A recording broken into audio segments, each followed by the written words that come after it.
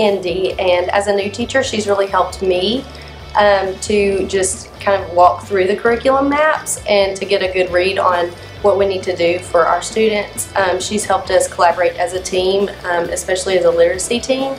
And we get together and work through, and she does her homework, and we do ours, and we get together and we plan what we're going to do um, for the next week or two with her.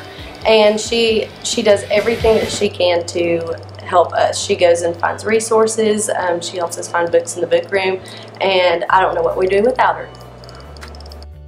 As a new teacher, the Indies have been really helpful to me, especially in introducing technology into my classroom. It's with us. We're two adults working together to find best practices for our classrooms here at John Adams.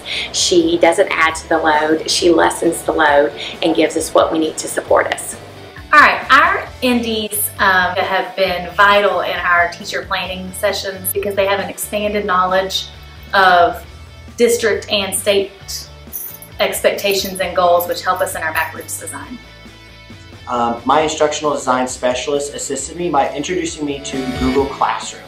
And uh, through working with Google Classroom, I was really able to su supply the students with the specific uh, feedback that they were needing to be challenged and and, and to grow. Um, some of the challenges I faced is really learning how to be more of an English teacher and how to incorporate reading strategies into um, the science curriculum. So the biggest problem that came out of our conversation was that I didn't have a lot of time, especially on review days. The problem was all 25 of my kids needed me for something different at the same time.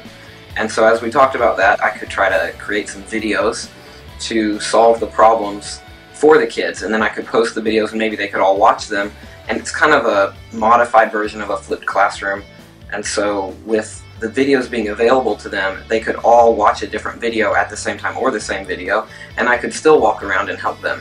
And now they're days that I really look forward to because the kids just get on their laptops or their phones even or their, their iPads and they watch whatever video they need and I can still come around and offer um, individual help or I can pull small groups. The Indies here um, at Jackson have helped us with collaboration during our um, weekly planning time and finding resources. In addition to that, the district Indies have helped us in our district planning um, come up with new and creative ways um, and innovative, ways of thinking um, about teaching differentiation. And we are currently co-teaching 8th grade language arts and they have really helped us by recording audio of the text that we are using in order to um, give the students more access to that text and help us to differentiate the instruction. But another benefit from it has been being able to connect with faculty uh, across disciplines. So it's been very encouraging to me and inspirational to me to be a part of a group and in a discussion with individuals who are also embracing change.